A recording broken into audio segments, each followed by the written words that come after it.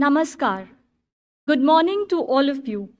On behalf of the Chief Justice of India and other judges of the Supreme Court, I extend a warm welcome to all the distinguished invitees to the second edition of the annual lecture series started by the Supreme Court of India last year to commemorate its foundation day. Your gracious presence here adds sanctity to this occasion. On this occasion, we are also deeply honored by the august presence of Her Excellency Ms. Hilary Charlesworth, Judge, International Court of Justice, Dr. Justice D.Y. Chandrachud, Chief Justice of India, and Justice Surya Kant, Judge, Supreme Court of India. We are also immensely honored to have with us Dr. Charles Guest, the better half of Her Excellency Ms. Hilary Charlesworth. May I now request May I now request Justice Surya Kant, Judge, Supreme Court of India, to kindly deliver the welcome address.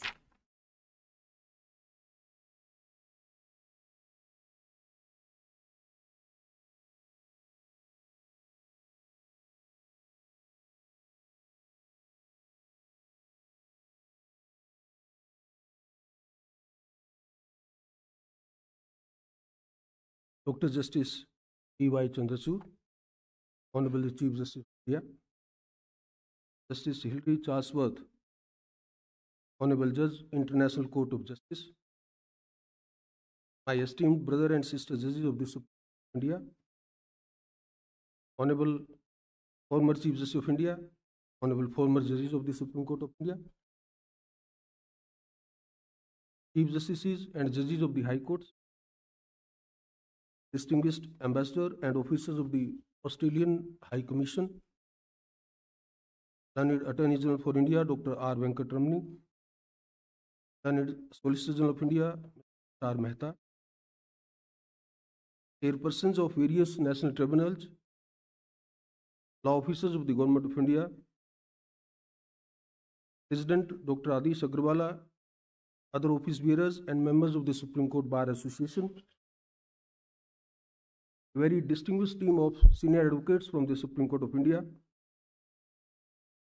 esteemed audience who have joined us both in person and via virtual mode, ladies and gentlemen, I wish you all a very pleasant morning. It is my proud privilege to welcome you all to the second Supreme Court of India annual lecture series, which was initiated the preceding year. The objective behind the commencement of this series was imbued with twofold purpose. A. To commemorate the founding of the Supreme Court of India, and B. To cultivate a rich exchange of ideas between the Indian judiciary and our colleagues abroad. It aims to be a collaborative platform dedicated to the advancement of constitutional values. The first edition of this annual lecture series was graced by the presence of Chief Justice Sundaresh Menon from the Supreme Court of Singapore, who delivered an indelible lecture on the role of the judiciary in a changing world. I wish to apprise our distinguished guests from abroad that the Supreme Court of India first opened its majestic doors on 28 January 1950, just two days after the Constitution of India came into force on 26 January 1950. Since its very inception, the Apex Court has played a pivotal role in upholding the rule of law as a repository of ensuring justice for all and as a guardian of the constitutional morality. On the momentous occasion of this year's annual lecture, we are delighted to welcome Justice Hilary Charlesworth, Judge International Court of Justice. On behalf of the Supreme Court of India, I extend my heartfelt gratitude to Justice Charlesworth for graciously accepting our invitation despite your many demanding commitments. We are beholden to you for your august. presence. Thank you, ma'am.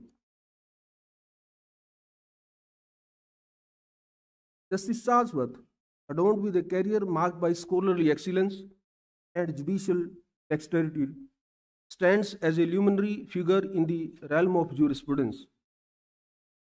She is a distinguished alumnus of the prestigious University of Melbourne and Harvard Law School, having attained her doctorate of juridical science from the latter. She is also a Fulbright scholar. Justice Charlesworth was decorated with the title of Laureate Professor at Melbourne University Law School and has also taught law at the Australian National University and the University of Adelaide, among numerous other prominent institutions. I would like to add here that Justice Charlesworth is no stranger to India, and this event is rather akin to homecoming for her, as she previously taught at the Mayo College Ajmer in the year 1976. We all welcome you heartily.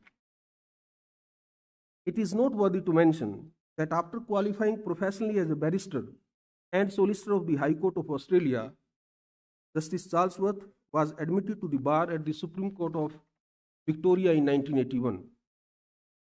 While I have known of Justice Charlesworth's exalted work in international law, from a judicial standpoint, what truly amazed me was the breadth and depth of her impact on jurisprudence through an extensive array of academic works.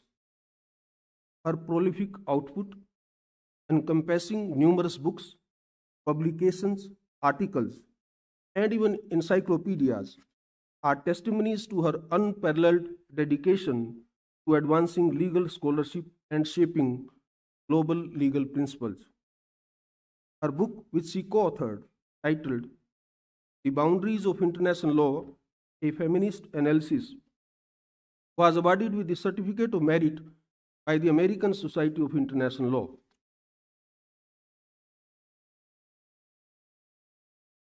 We are surely fortunate to have such an eminent legal luminary with us today.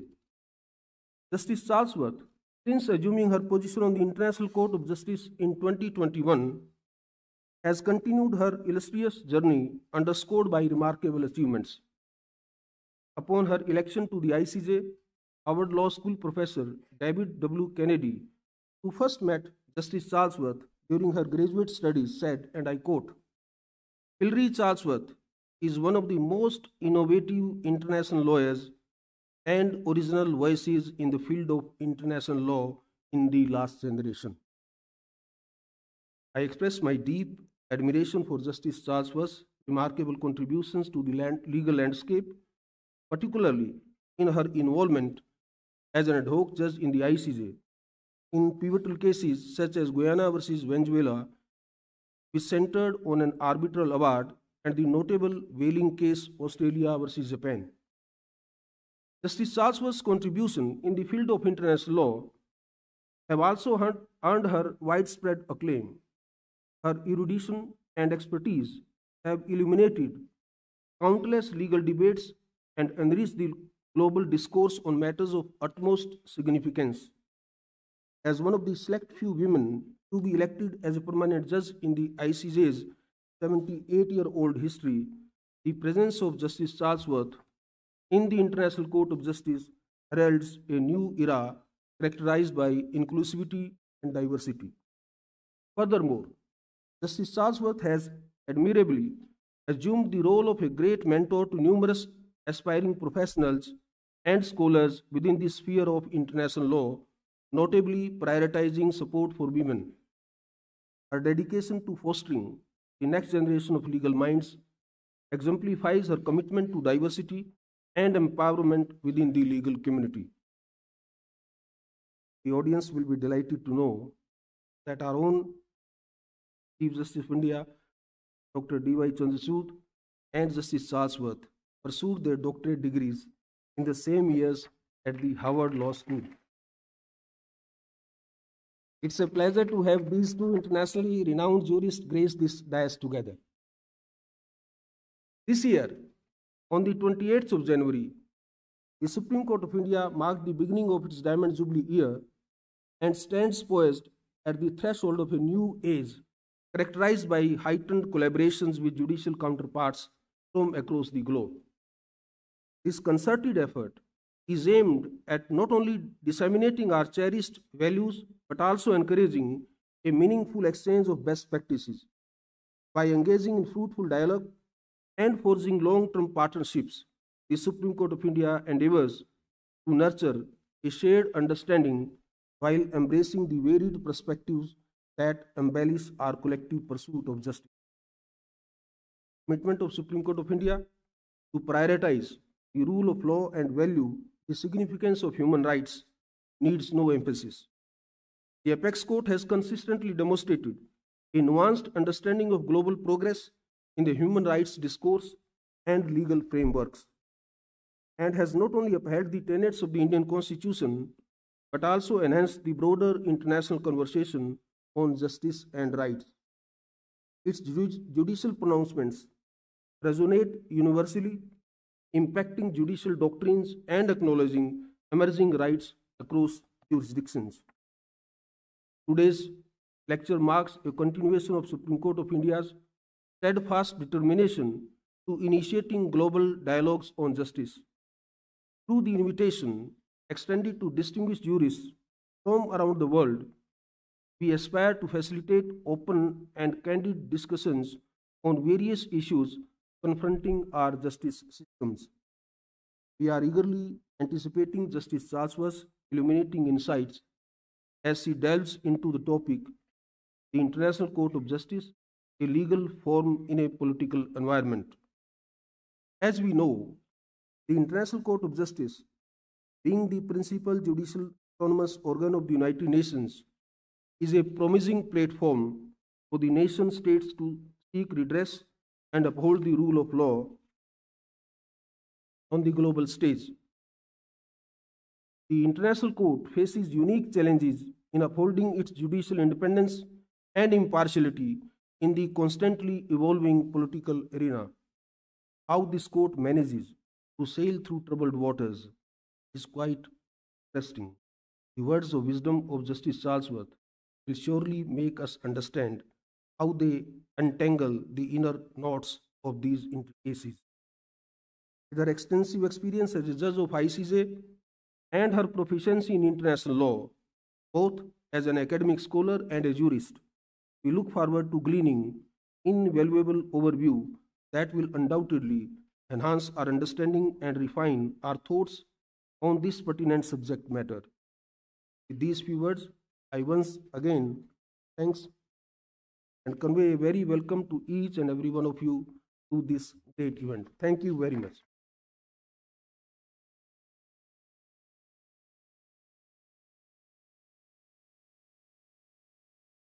Thank you, sir. I would now like to call upon Dr. Justice D.Y. Chandrachud, Chief Justice of India, to kindly share his thoughts with us.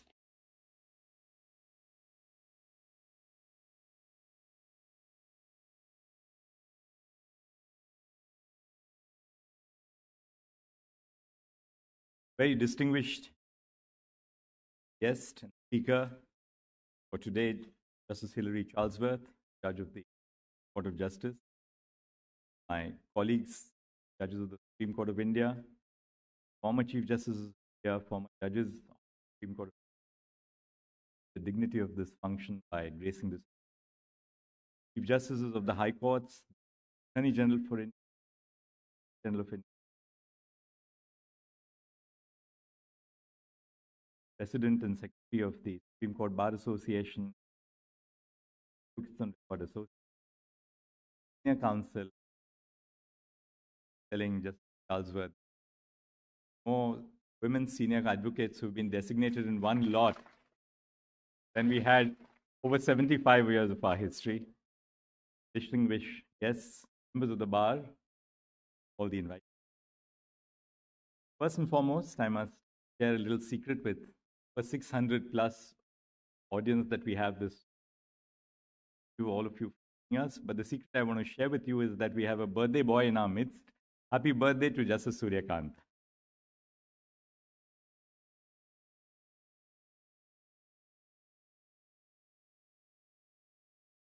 It is indeed a moment of honor for me to join Brother Justice Surya Kant and all of you in welcoming to the Supreme Court Justice Hilary Charlesworth, judge of the International Court of Justice, an esteemed scholar, a pioneering feminist thinker, and most importantly, a dear old friend.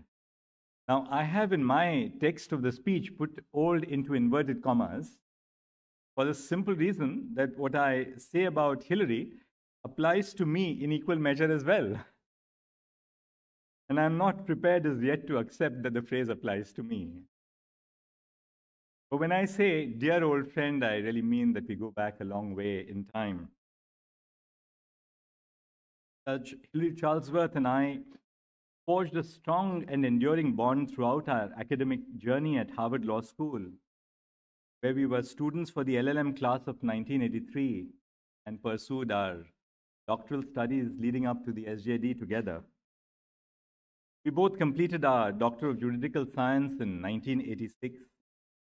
We discovered common interests and values that solidified our friendship.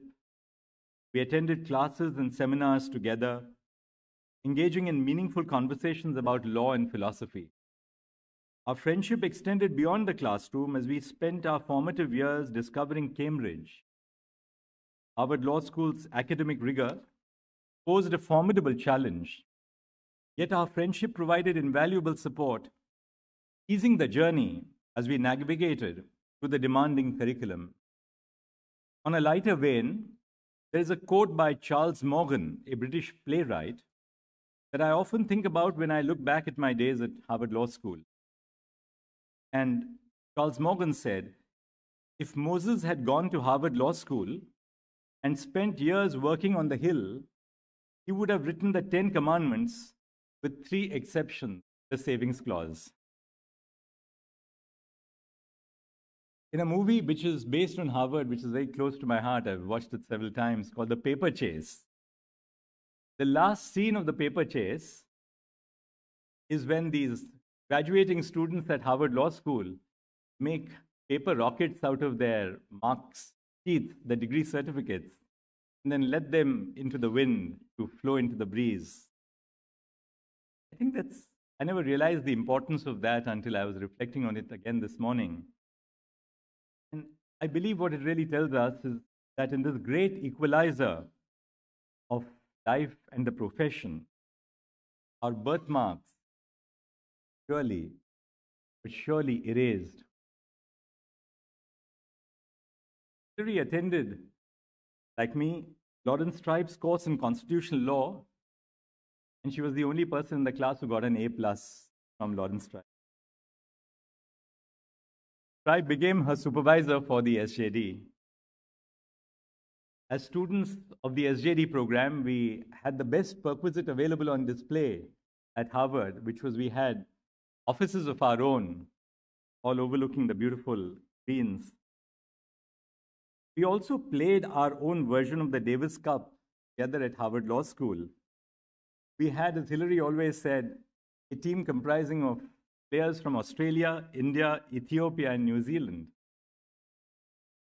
But the standout image that remains etched in my memory is of Hilary on a bicycle.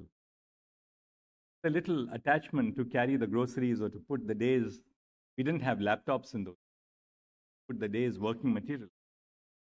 That reminds me always that truly, Hilary wears her scholarship and erudition with a badge of truly the sign of a great human a pleasure in welcoming her spouse, Dr. Ali Guest, well. And before I move on to little be a little more formal uh, part of my speech, I must conclude the first part, the more personal part, which a little anecdote, which I am sure you'd forgive me for sharing, personal note. She has two children, Stephanie, Steph, and Will. And Will was extremely, and still is, very fond of cricket. So when the Indian cricket team went to Australia, she took special permission from the Indian High Commissioner uh, so that little Will could go and meet the Indian cricket team at the reception for which she was invited. A couple of days later, Hilary spoke to me and said, uh, You know, there's something very interesting that happened. And he just refused to go and brush. That night, when I told him as a young child, you have to go and brush and then be done for the day, he refused to brush. Asked him, brushing. So he had met Sachin Tendulkar and shook hands with him. He says, You don't brush and wet your hands after you have spoken to God and shaken hands with God.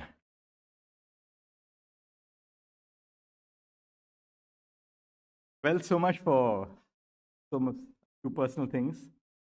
Last year, to celebrate the legacy of the Supreme Court, we instituted an annual lecture commemorating the momentous occasion of its first sitting on 28 January 1950. For the first edition, we were honored to host Justice Sundaresh Menon, the Chief Justice of the Supreme Court of Singapore. This year marks a special year. It is a momentous occasion in the history of the Supreme Court and our nation. The Supreme Court of India has entered the 75th year of its inception. No one better than a judge and a scholar with years of experience and a profound understanding of the law could aptly capture the significance of this milestone. Thank you for graciously accepting our invitation, Justice Charlesworth. At Harvard, Justice Charlesworth worked on her dissertation on constitutional law from the North American and Australian perspective, while I labored over my work on affirmative action in India in the context of comparative law and jurisprudence. As we both toiled over our dissertations, we engaged with the law, but were also compelled to navigate the dichotomous yet intricate relationship between the law and politics. The theme Judge Charlesworth has selected for our lecture today, International Court of Justice, a legal forum in a political environment, is to say the least interesting and topical. It is, of course, of contemporary relevance in view of the unprecedented growth in the docket of contentious cases before the International Court of Justice. Notably, however, the theme for today's lecture also reflects a question that is fundamental to the law and legal systems, both domestic and international. The International Court of Justice held its opening session on 18 April 1946, a time when approximately a third of the world's population including Indians, lived under colonial rule or in non self governing territories. As the International Court of Justice celebrated 75 years of its inception in, 19, in 2021, its then president, Joan Donoghue, recognized that there has been a significant change in the composition of the court since its inception, which has impacted the functioning of the court and the diversity of cases which it is called upon to adjudicate. Today, there are 193 United Nations member states. The existence of a diverse member states community has had a tangible influence in the kind of cases that the ICJ is faced with today. No longer deals with only questions of convention or border dispute or whaling.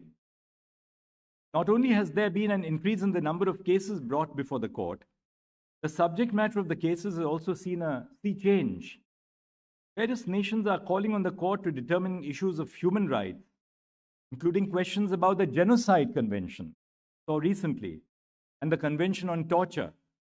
In this way, the change in global politics has been crucial in shaping the transformation of the ICJ as well. It reflects the deep interplay between politics, power, and the law. Similarly, the institution of the Supreme Court of India in 1950, which we have gathered to commemorate, was also a moment that marked political and social transformation. It cannot be viewed, our founding moment cannot be viewed as divorced from the political realities of its time. The sitting of the Supreme Court for the first time echoed the aspirations of a nascent country, burdened by the legacy of colonial rule and entrenched social stratification, yet equipped with a transformative, progressive, foresighted constitution.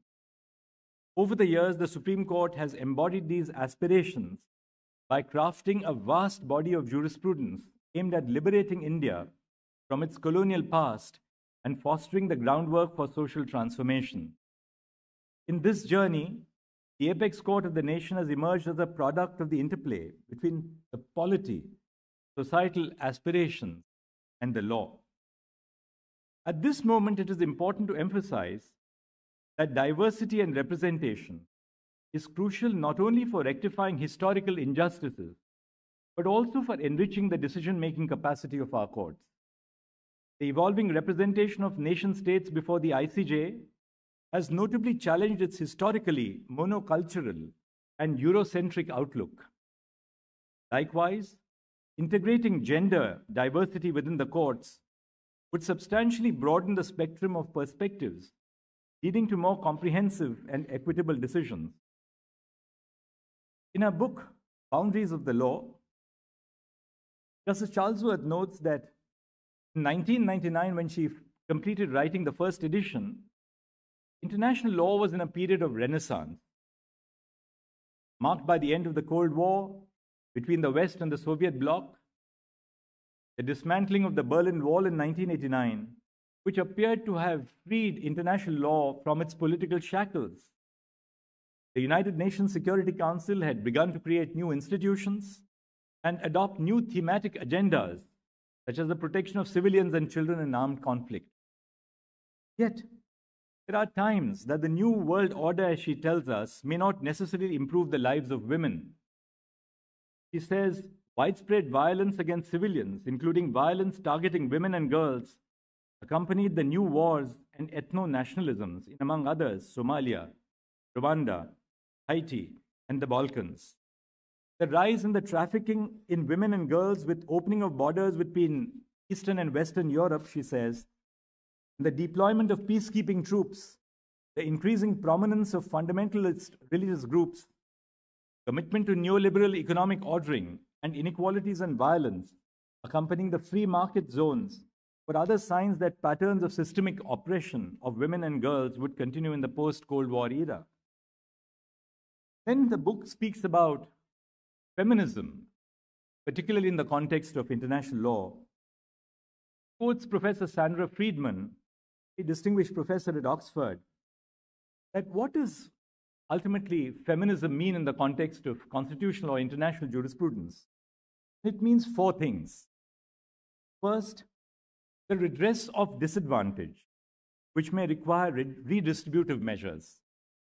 Second, recognition of the prejudice, stereotyping, and violence that are caused by inequality.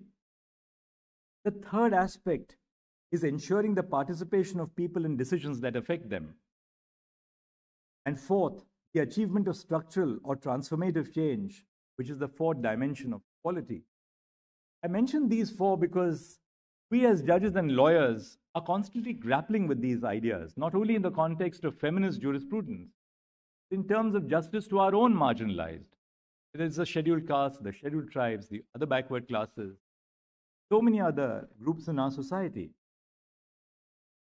Therefore, from that perspective, I must, at the end, share that the first woman to be elected to the International Court of Justice was Dame Rosalind Higgins, who was also the first female president of the court. Judge Charlesworth is regarded as one of the pioneers of the feminist approach to international law and has brought this school of thought into the mainstream.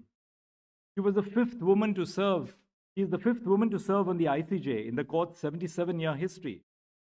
Recently, Judge Julia Sebutinde, the first African woman to sit on the ICJ, has been elected as the vice president.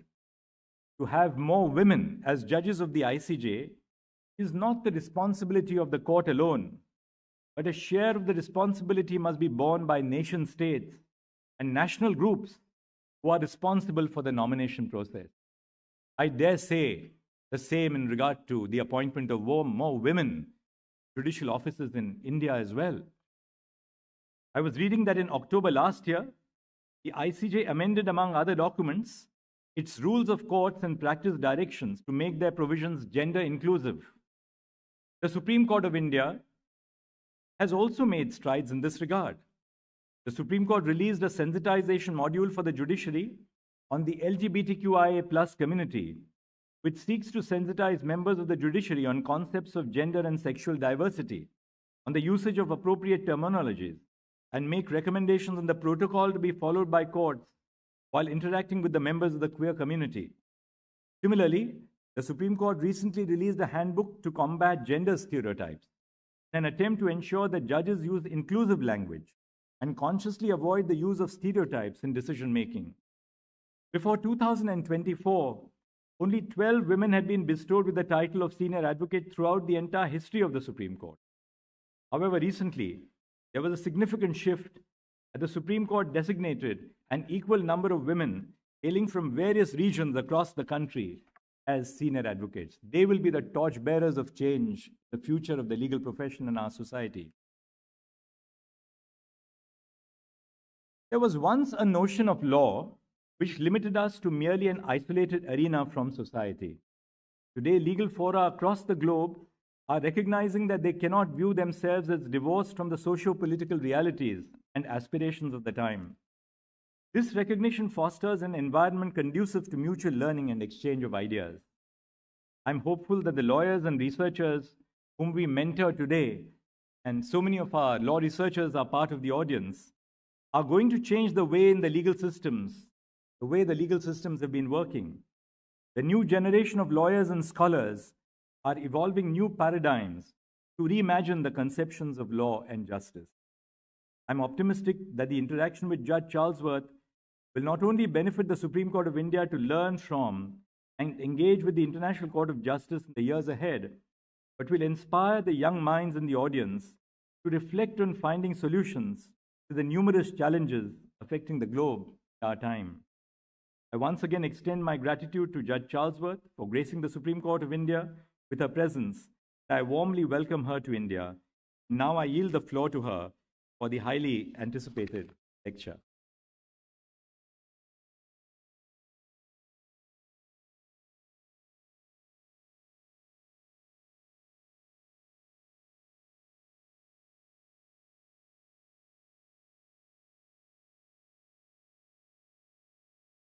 Thank you, sir. Your address was indeed a treasure trove of wisdom, garnered and gathered through experience and wide reading. With this, I request the Honorable Chief Justice, Dr. Justice D.Y. Chandrachud, to present a memento to our esteemed Chief Guest.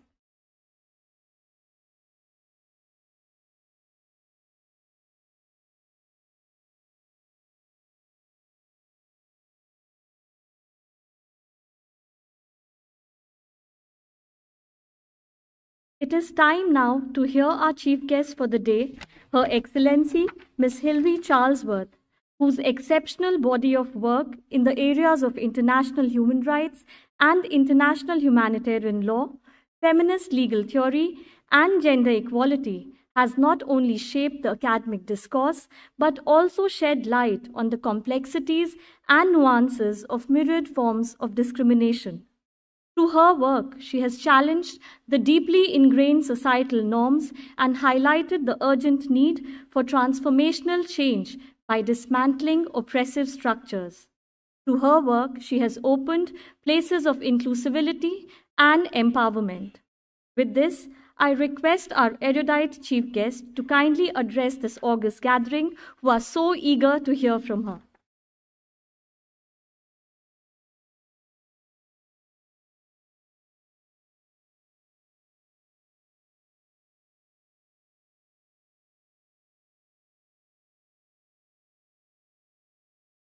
Chief Justice General, very distinguished present judges of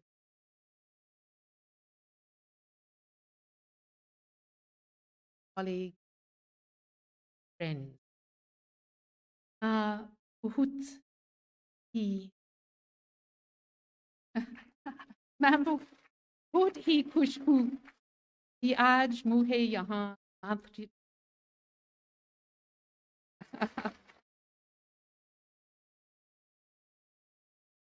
Indeed, a really great honor to have been invited to deliver second lecture, celebrate the anniversary of the foundation.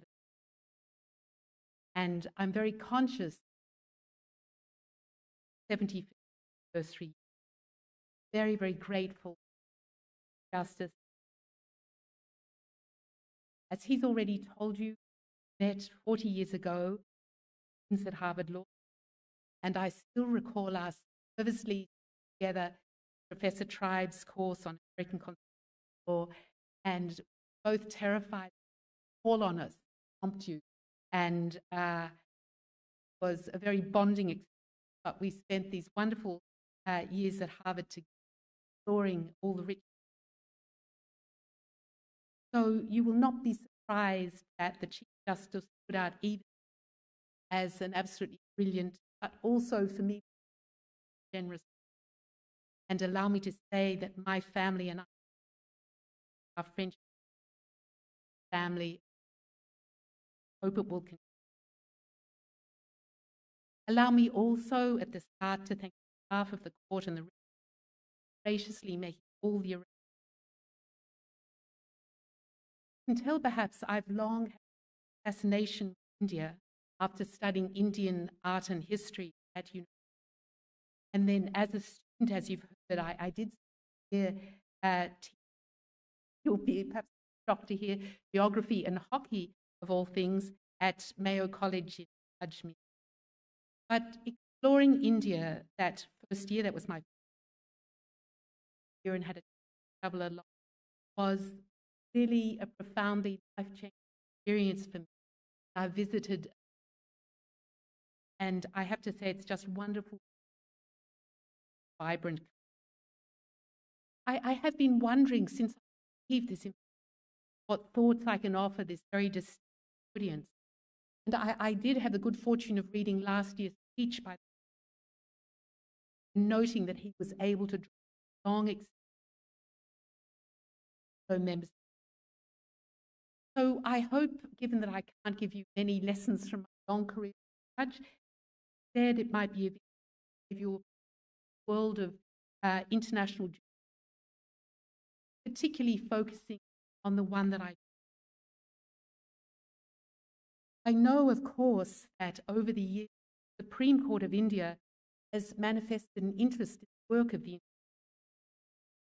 Unlike many other constitutions, Australian at the Indian Constitution acknowledges the role of international law in Article 51 and part of the directive. And uh, the Supreme Court of India has, of course, regularly referred, and indeed on occasions,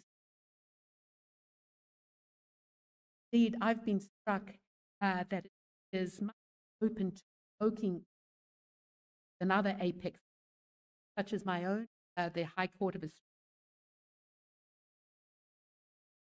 What I, I would like to say is to start with describing the structure of and then I, I want to discuss how it navigates its role as a legal institution, in deeply divided environments that implicate. Of course, the International Court of Justice's structure and jurisdiction are quite different from those of a national court, such as. I hope that you some of our experience resonate well, the origins of the court uh, are, uh, date back to the early part of the 20th century. And you can see here an image of the Hague Peace Conference participants, 1890, gathered on this of what's now the residence, the House Ten Bosch, just outside the Hague. So there were two Hague Peace Conferences, 1899 and 1907, both initiated by Nicholas. And those two conferences together resulted in establishment of institutional structure for arbitration. And this is the permanent court of arbitration. Uh, but an arbitral court is not a judicial institution. There were moves in the early 20th international and this permanent court was housed in the same building, the palace or uh, in The Hague. And I've, I've got, this is a picture here of the inauguration of that building, the front with the white beard, thunder of the Scottish American philanthropist Andrew Carnegie on the opening day. So the first occupant was permanent court, but it was then forced to provide half of the for the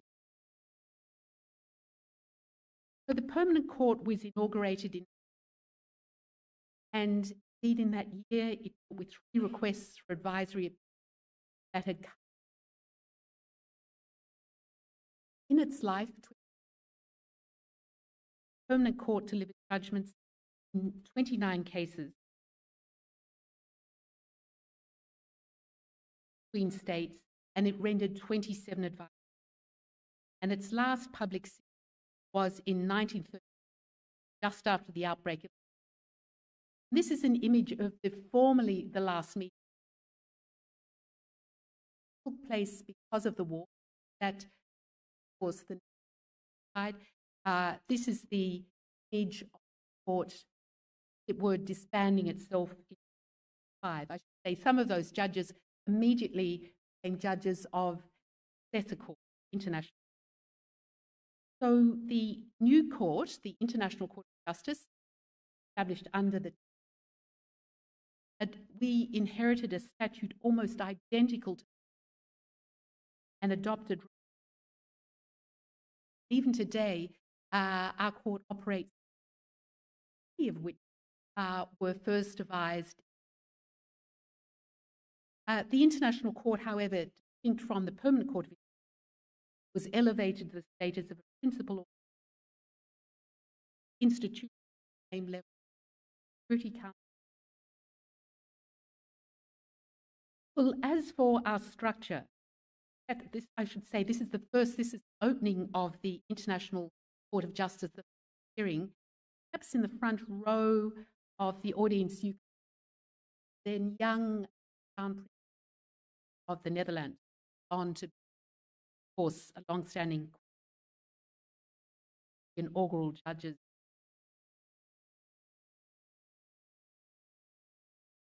Well, this is the latest, what we call the family photo. I should court had a new composition Tuesday.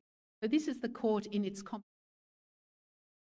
But as of Tuesday, we lost four of our colleagues, including our president, Judge Donoghue. Morgan.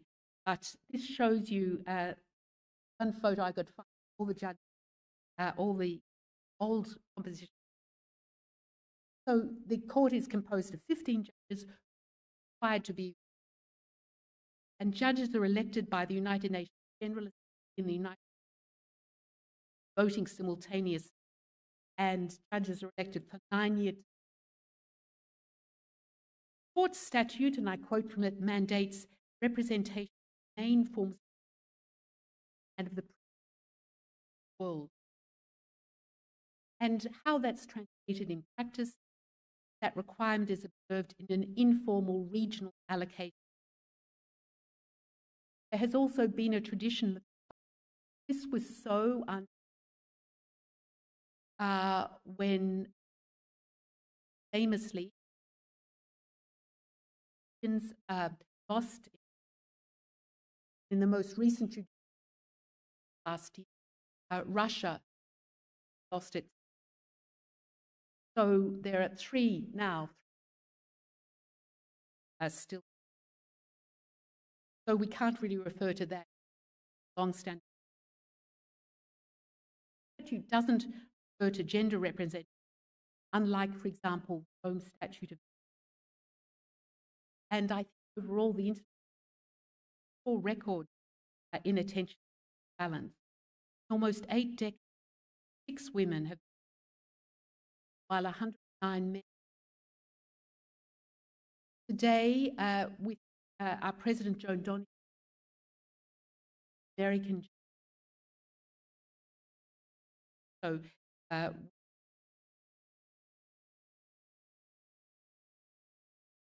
You will be aware that a former member of the Supreme Court of India, Judge Dalbir Bhandari, we, we call judge at the court, I'm aware that he was justice. Judge Bhandari at the moment, the current member. The distinguished judges from India include. Rao, one of the architects, I tell you, of the India. He was elected to the court, in, sadly died uh, before he uh, perhaps the longest serving Indian jurist that Judge Nagendra Singh sat on the court for 15 years uh, in the 1970s. He also vice president. As president, he presided over perhaps one of the most significant cases in the Nicaragua case. Back to um, every day I walk past this statue of uh, Nagendra Singh, Judge Nagendra Singh, was if you were president at the court, you were allowed to choose either a sculpture, a portrait, and so sculptures are displayed in the judge's wings. So I, I feel, although of course, but I feel um, I see Judge Nagendra today with this extended, extended bronze. Another Indian judge on the court, uh, Raghunandan Pathak, was appointed when he elected to the court when he was Justice of the court and he finished Nagendra's uh, after Nagendra Singh's death.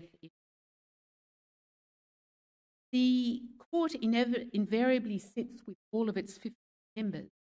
Uh, the statute of the court, it's true, contemplates the formation of specialist course vote at the discretion of court to constitute all a bench. So almost invariably composition. If there's no judge of the nationality of a state, that state may appoint. So in some cases, 17. In three out of the six, India, courts. There was no Indian judge bench, and so various were appointed. One was uh, the former Chief Justice of Bombay High Court, Chagla, who was a hoc judge in rights of passage case brought by Portugal against late 19th. Uh, Judge Nagendra Singh, uh, he was also, before his election to the served as in a case India brought against Pakistan relating to the and Supreme Court Justice B.P. Jeevan Reddy was appointed ad hoc judge in a case that Pakistan aerial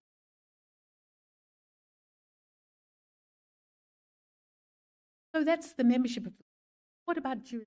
in its contentious jurisdiction the court deals only with unlike the international court we never see individuals touch court they never uh, for us as all 109 members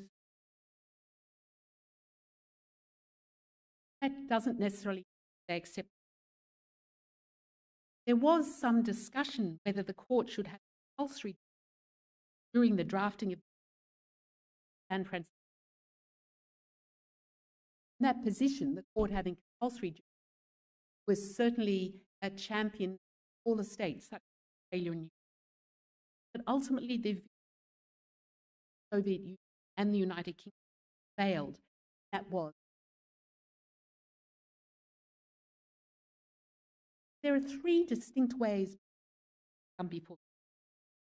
First of all, it's possible for states to enter into a special agreement. We have a nice one such case docket, and this is where the neighbors, uh, Guatemala and it, it, that's one route. That's in fact easiest route because one knows they'll. But a second route, when both states grants the I just and uh, examples of such treaties that have such a jurisdiction laws include the genocide. Of course, it was precisely Article 9 of the Genocide Convention invoked by South Africa in its recent case. There is the Convention on the Elimination of Racial Discrimination, uh, the Convention on the Elimination of All Forms So the court at the moment has a number of cases that are based on such there are two brought against Russia on the basis of range of. Uh, there's a well-known case that Gambia brought against Myanmar on I conviction. There are cases based on the racial and a case brought by Canada and criteria based on the second method. The third method by which states manifest making a standing declaration accepting the compulsory just over a third of the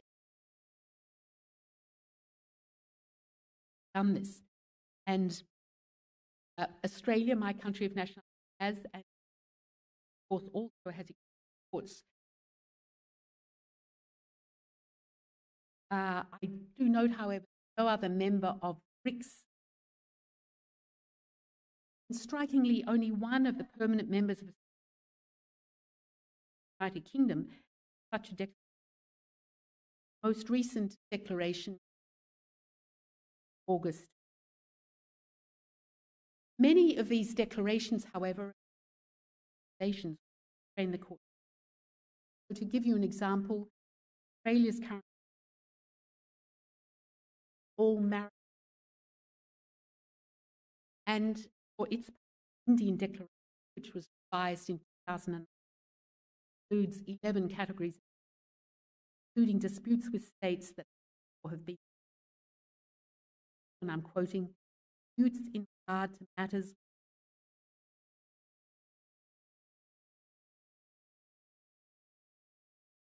Like the Permanent Court of International Justice, the International Court also has an advisory whereby certain UN organs request advice. The critical words in the Charter are. This image is Chagos. This represents the most recent advisory rendered by the court on status. So, uh,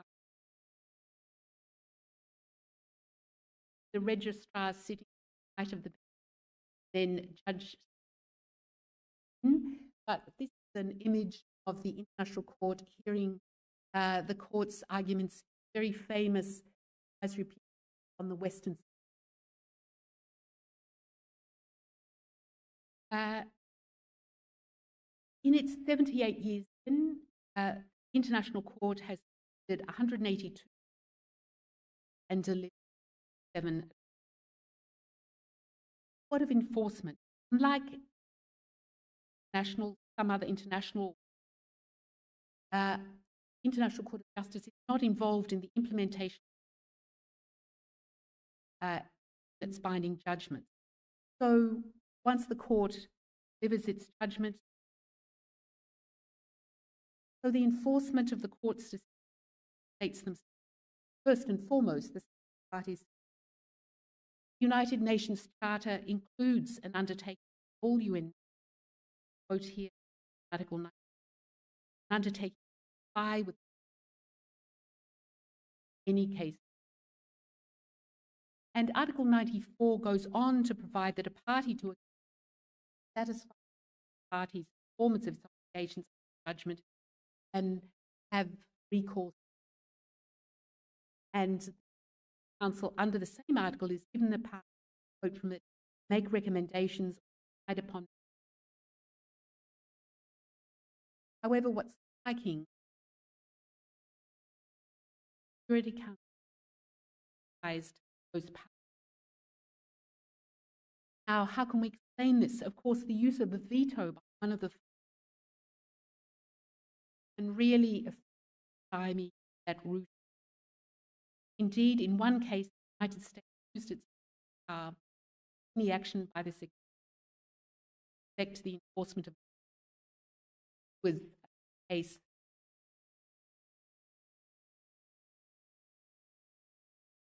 In the end, the implementation was delivered in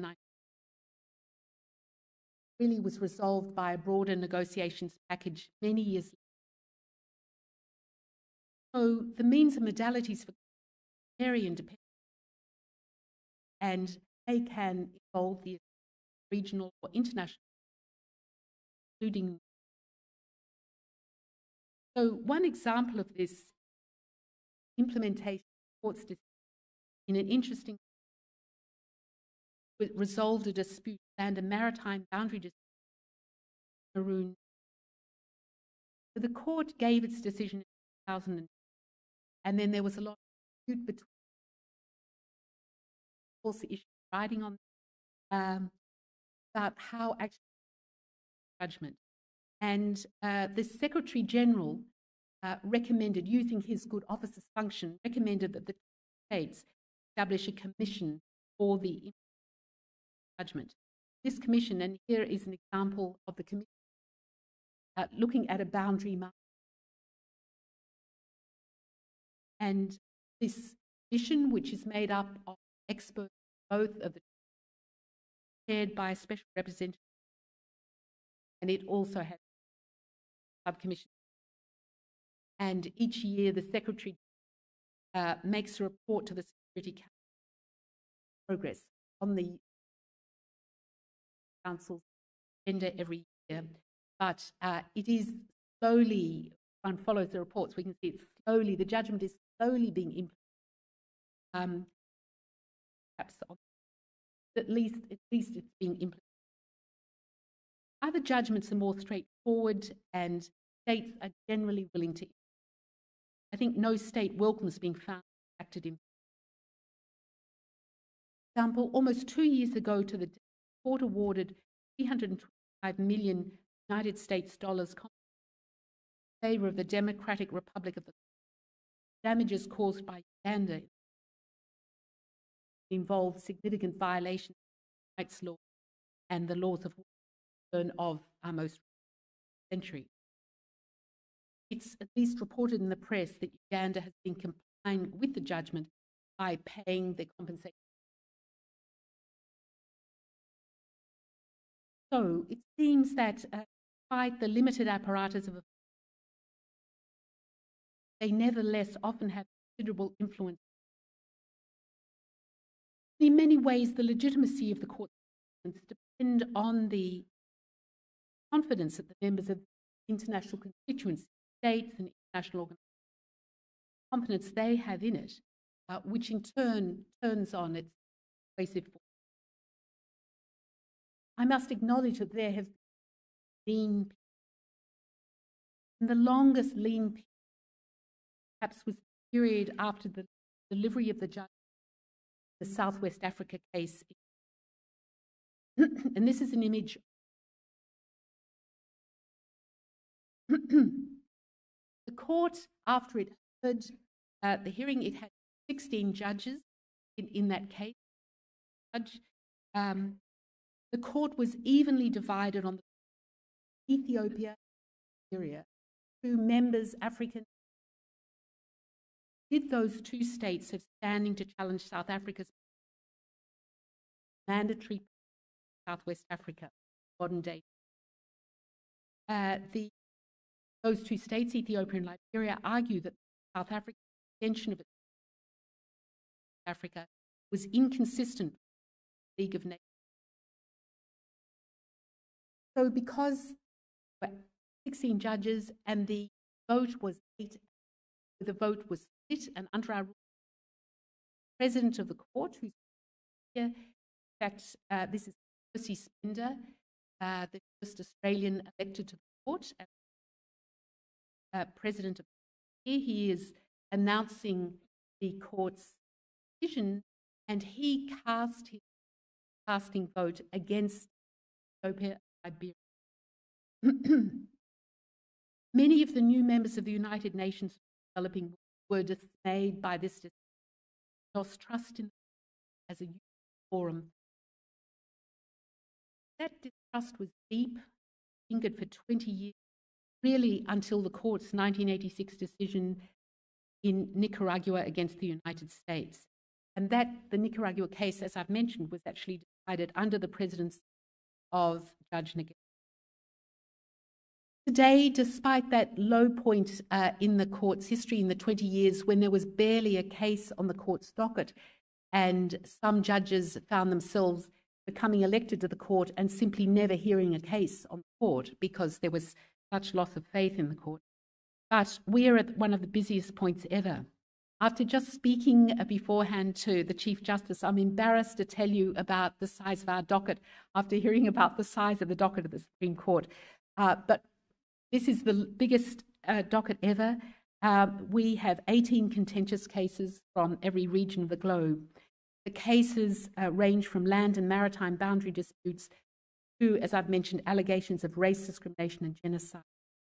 We received last year two requests for advisory opinions from the United Nations General Assembly, one on the legal consequences excuse me, of, of Israel's policies and practices in the occupied Palestinian territory, and we're just about to begin hearings in that case. And the second one was on the international legal obligations in relation to climate change. And then in September, the International Labour Organization requested from the court an urgent advisory opinion on whether one of its conventions enshrines the right to strike. So for the court, this is a historic number of cases to have on its docket at one time. And it does suggest at the international level the court has a groundswell of respect and authority in the international community.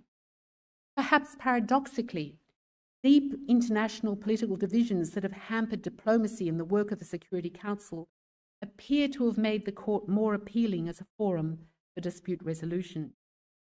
And yet, despite this apparent success, the court has also attracted a great deal of criticism over the years. One strand of criticism that I'll, I'll focus on now is that international law operates in an intensely political context and that its principles are more the product of politics than true law. On this argument, international judges are often taken out of the purely legal realm and they're called on to make political decisions. This criticism isn't peculiar, of course, to international law.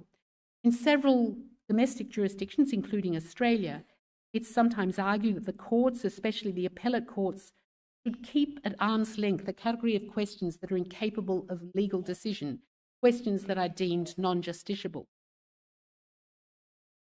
Then, as now, uh, international adjudication has always been premised on the consent of sovereign states. Agreeing to submit their disputes to a third party arbiter. So the argument in international law runs that some disputes are politically sensitive and the disputes touching on the vital interests, or sometimes it's called the honour of the state, are simply too important to be left in the hands of international judges. So the idea is that the role for courts such as the International Court, uh, that they should simply occupy themselves with technical cases such as land and maritime boundary disputes. But what's technical and what's an issue of policy? The inherently subjective, if not self judging character of that sort of argument is evident. But beyond that, the argument rests on a purported distinction between the realm of politics and the realm of law. Politics and law are not different provinces of social organization. Rather, I see them as different lenses through which to observe social experience.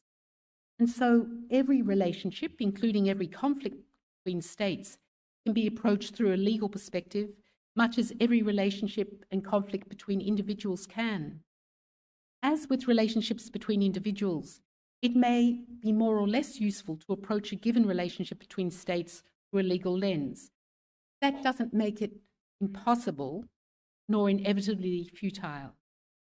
Of course, this isn't to say that law can provide the only angle on a relationship. Being one of multiple lenses, law will hardly ever offer a perfect image but it provides an important thread in a fabric of regulation that can be woven with threads of politics, economy, history, public opinion, and culture that influence behaviour. In its practice, the International Court has affirmed that it may indeed, it must decide the legal aspects of disputes that are properly submitted to it. And it has held that any dispute framed in legal terms is essentially illegal.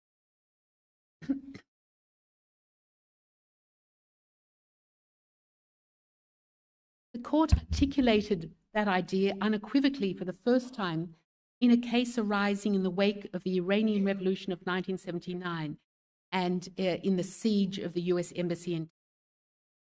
So, with its nationals still taken hostage, the United States resorted to the court, complaining that Iran was breaching the inviolability of diplomatic premises and the immunity of diplomatic and consular staff.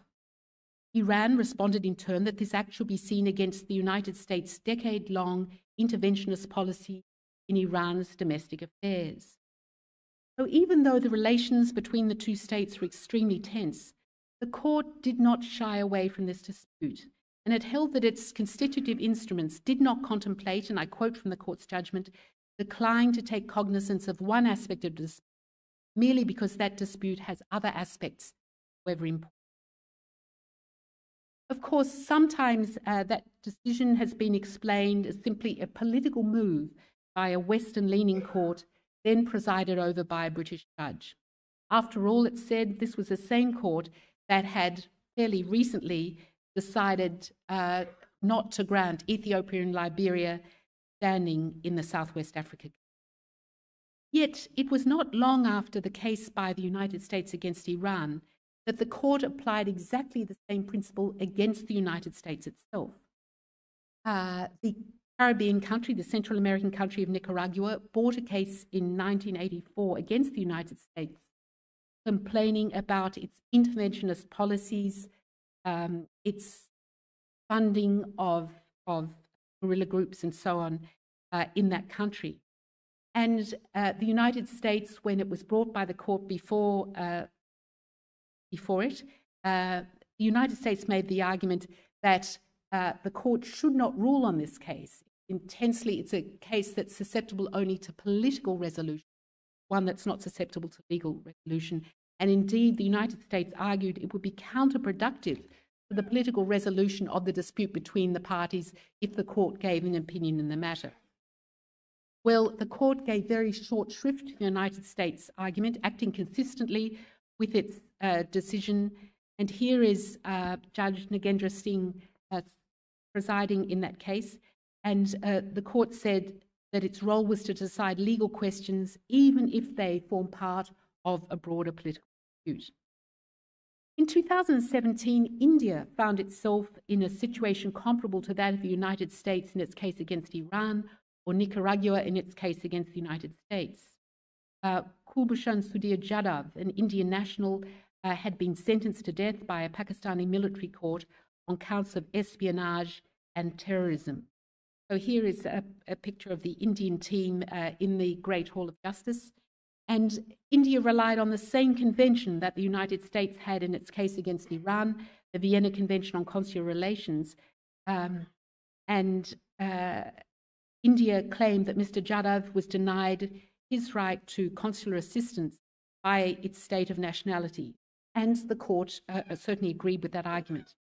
Now, of course, it, it's obvious that the court's judgment didn't resolve all tensions between India and Pakistan, but at least it provided a resolution, a legal resolution, to an acute problem dividing them.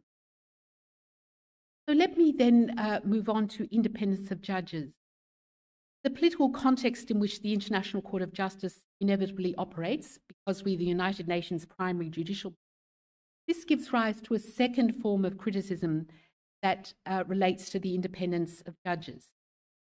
Popular commentary on the court, and here you can see is this is a photo actually of the court taken just last Monday as uh, we were swearing, uh, the, the uh, new colleagues were making a, their declarations, their solemn declarations, and temporarily the president of the court was the most senior judge on the court, Judge Peter Tomka, uh, who in his third term on the court. Judge Tomka is from Slovakia. So that's, that's, that's the court, let's say, in its, its new composition. But there's, there's a lot of uh, commentary on the court that often presents it, especially in the popular media, as an almost entirely political organ whose members effectively represent the interests of their states of nationality. The nationally and legally heterogeneous backgrounds of the judges are assumed to make judicial consensus unlikely. And in this respect, many commentators contrast the ICJ unfavourably with national courts, which are taken to represent the acme of the judicial function. On this analysis, the International Court has at best the carapace of a court, offering, however, a highly restricted form of judicial independence.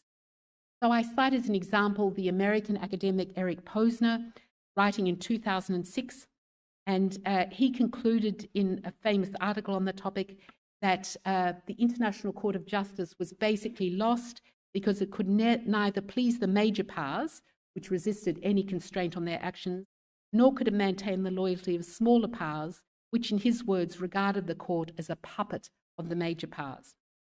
Well, uh, Eric Posner and other scholars have studied the voting behaviour of international judges, focusing on the extent of their independence from the state that nominated them, and drawing very pessimistic conclusions, basically saying uh, judges will always vote in favour of the interests of the state of their state of nationality. The decision in the Nicaragua case uh, in 1986, uh, it's very interesting in the literature. As soon as that case appeared, there was a flurry of claims by mainly United States lawyers, academics, that the members of the International Court weren't independent.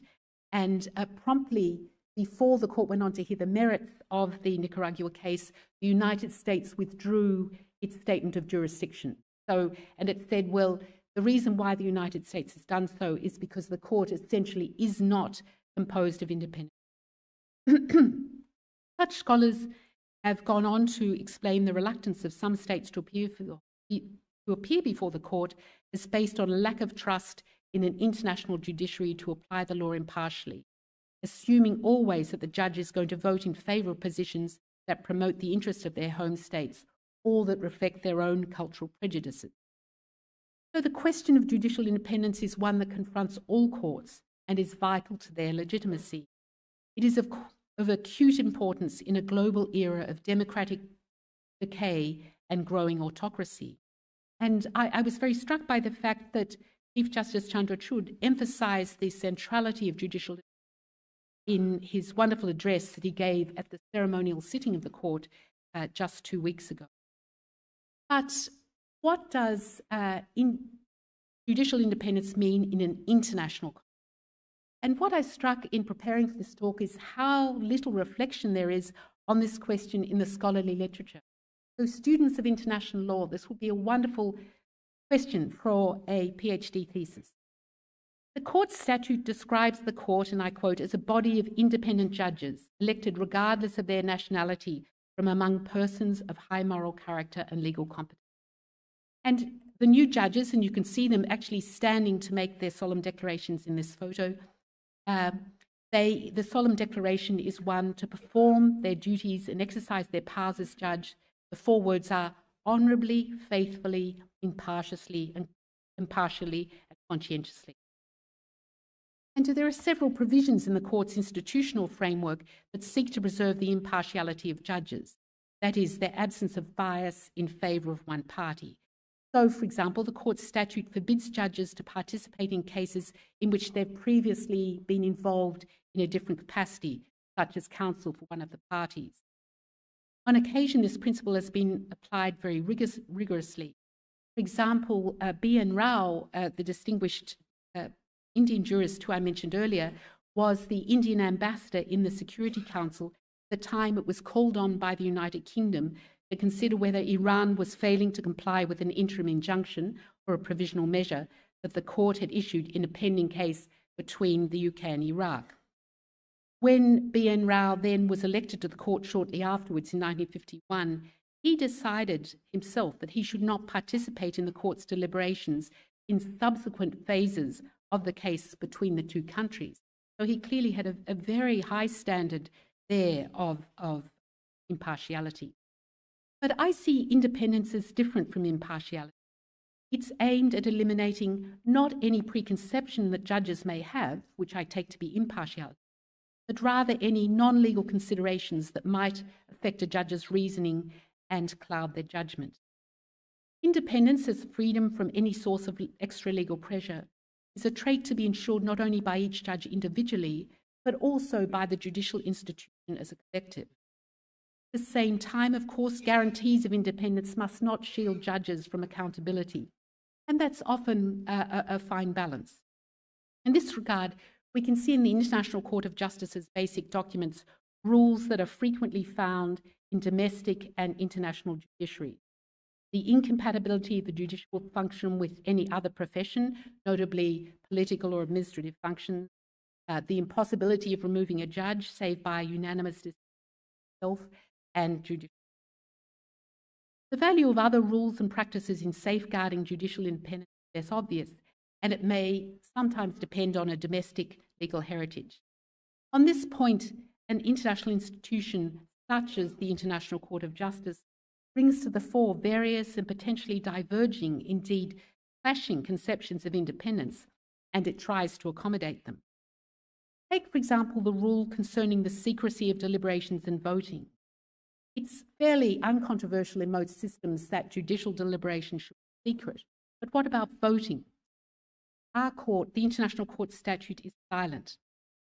To a common lawyer, may seem obvious that the judgment could, indeed should, indicate the way in which each individual judge voted in the operative clause of the court decision. Uh, the fact that the International Court statute explicitly gives judges the right to append individual opinions seems to point in the same direction. But on the other hand, it's been argued, especially by those from a civil law tradition, that to identify the individual judge's votes not only undermines the authority of the judgment, that it also exposes those judges to real or perceived pressure to vote in a particular way. For more than 50 years, the practice of the ICJ and its predecessor was not to indicate the way in which each judge voted, and it was only in 1978 that the court amended its rules so that now its decisions also indicate the names of the judges constituting authority.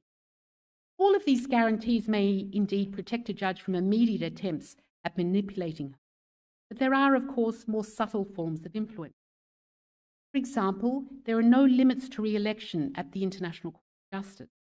So, a judge who's facing re election in the near future may theoretically be tempted to modify her views to align them with influential elector states. For that reason, several judges, including the recently retired president of the court, Joan Donoghue, have proposed a single non renewable term for International Court of Justice judges. She suggested in her recent address to the Sixth Committee of the General Assembly perhaps there could be a, term, a single term of perhaps 12 rather than nine years. Non renewable terms are already the rule in various other international courts, and they've been recommended by the Institute of International Law, the oldest learned society of Such a reform would, of course, require amendment of the court's statute, which is not in the hands of the court itself. Nonetheless, the court has adopted a series of decisions as well as some informal practices that set limits to the invitations or decorations that judges may receive and to their participation in external activities, in arbitrations, and so on. Uh, to conclude, then, assertions of lack of independence are regularly made about judges who staff international, international judicial institutions such as the International Court Justice. Almost all disputes and requests that arrive at the court have a clear political context, and some observers are keen to question the court's ability to resolve such issues on the basis of law. And yet, uh, in my view, I think the court has largely, overall, managed to adjudicate the legal aspects of politically sensitive disputes with integrity. Judicial independence is critical to the operation of legal institutions, particularly in volatile political contexts such as the international sphere, but its content is not easy to pin down. At the international level, where a diversity of judicial backgrounds is vital, judicial independence, the idea of judicial must accommodate intellectual, social, cultural, national differences. I think it's important to develop more sophisticated accounts of judicial independence than simply tracking vote patterns, with all due respect to those who engage in that research. The United Nations Special Rapporteur on the Independence of Judges and Lawyers has recently identified some current challenges to judicial independence in national legal systems that I think apply also in, to the international level. These include these challenges include disinformation that's spread online, online harassment and threats, and also the misuse of artificial intelligence. The Special Rapporteur also emphasises the composition of the judiciary as a critical element of judicial independence, noting her words, the importance of participation in the judiciary articulated for those who commonly experience discrimination, uh, including women, members of minority groups marginalized, for example, because of their ethnicity, race, or sexuality, or persons with disabilities. I think judicial independence is a field where the international judiciary, of which I'm a member, has much to learn from the practice of national courts. Our two courts, the Supreme Court of India and the International Court of Justice, while very different, I note that we're of a very similar age. You're going into your 75th year, uh, we're going into our 78th year. Slightly, slightly but we both face the task of navigating highly charged political environments as legal institutions. The international judiciary, I think, can draw inspiration from the Supreme Court of India's distinguished history of independence and innovation. What is also really impressive to me is the Supreme Court's courageous capacity for introspection, which, uh, to quote the Chief Justice's recent talk at the uh, ceremonial sitting, and I quote from him introspection is the art of bringing the seemingly unattainable in the line of vision.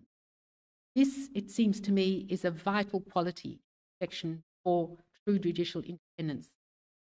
Chief Justice, let me congratulate the Supreme Court on its foundation day and its uh, anniversary year, and I wish it a rich and rewarding Aap, uh, Aap Sabika Bahod Dhanyavad.